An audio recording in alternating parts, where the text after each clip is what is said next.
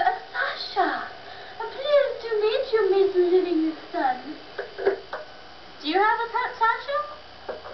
Oh, yes. I have a pet named Isabel the goat. I'm sorry, she's my cough. Um, where is Isabel?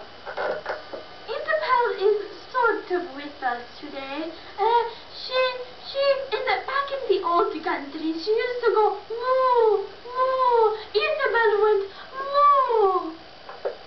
this isn't all going on anymore.